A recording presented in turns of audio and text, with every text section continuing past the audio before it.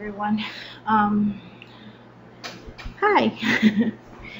uh, for today's tutorial, I'm going to show you how to do two things in one. um, the first thing I'm going to show you is how to do a glassy text like this.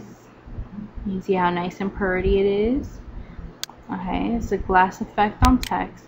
And the second is the glass effect with um, the sticker effect on text. Um, as you can see, it has the same glassy thing, except it has the little white border, making it look kind of like a sticker. it's really cute. I know a lot of people um, like that and want to learn how to make it, so here's the tutorial for it. Um, first thing you want to do is open a new canvas. I'm using 400 by 200, resolution 200, um, on a raster background, um, color depth, I'm using RGB 8 and I want it transparent so you're going to click on transparent background. So click OK. Once you have your canvas open go ahead and click on your text tool which is the little A with um, the square inside the square. Um, pick your font. I'm going to be using Carnivale Freak Show.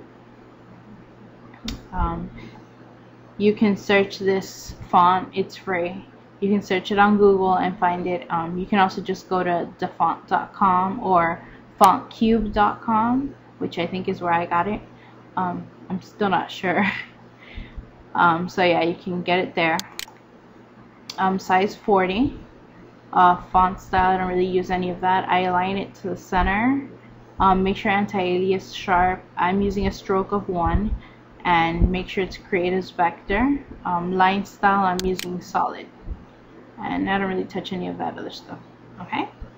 So pick your color. Um, this is your foreground or your background color. The foreground is the stroke or the outline of the text and the background is the fill of the text. Okay so I picked pink and dark gray. Alright once you have your colors picked go ahead and click inside your canvas and type out whatever you want. I'm going to go ahead and type sporadic notion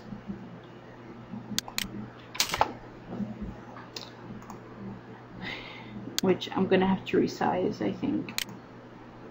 Um, yeah let's go ahead and resize it a little bit.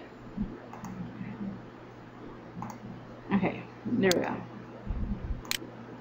Okay once you have your text typed out go ahead up to effects go to 3d effects and we're going to add an inner bevel. Okay so go ahead and click on that.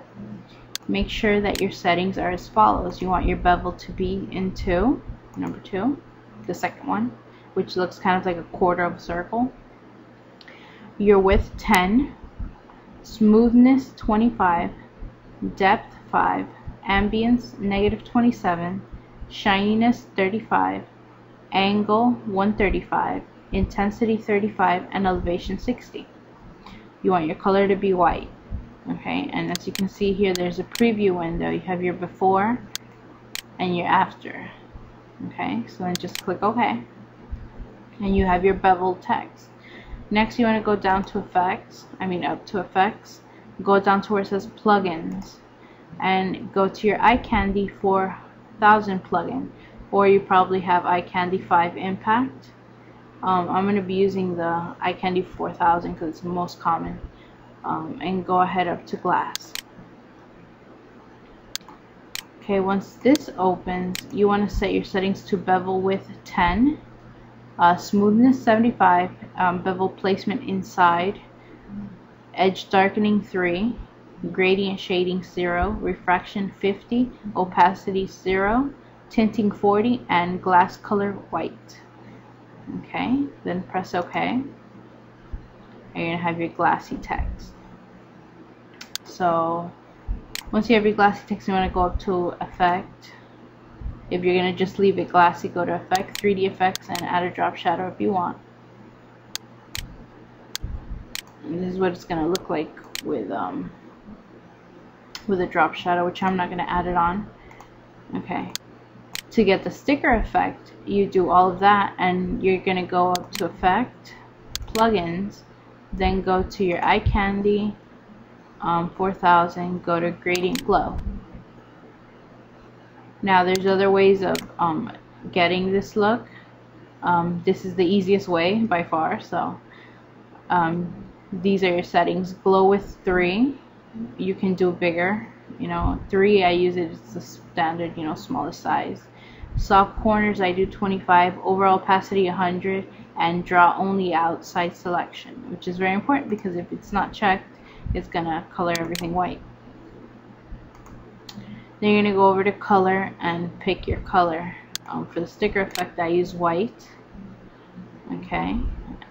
Make sure that you have these two little things here because if you take this one out then it's not going to really be a sticker effect. Okay. Uh, okay so then you click OK. And there you go you have your sticker effect. Now just go up to effects 3d effects and drop shadow. Oops. Okay hold on. Okay. That was the other tutorial I was recording. Okay here we go. Um, okay so you go up to effects 3d effects and then drop shadow. Okay. I'm doing uh for sticker effect I use 1 and negative 1 opacity 80 blur 5 and color black.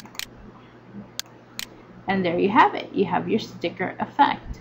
Now the other way to achieve this effect would be to go after you have the glass and your bevel and everything go to selections select all then selections float selections again defloat then go to selections modify expand and expand by I'm going to go ahead and expand by 3 yeah let's do 3 press OK.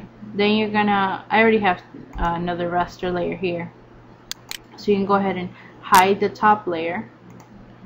Click on the little eye to hide it and you should see the little marching ants like this.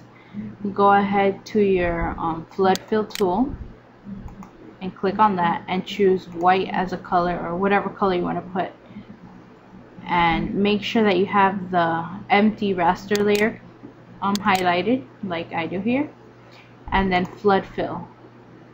Okay see how it's all white? Then you're to unhide the top layer go up to selections and select none. Then you want to click on the top layer go to merge and merge visible.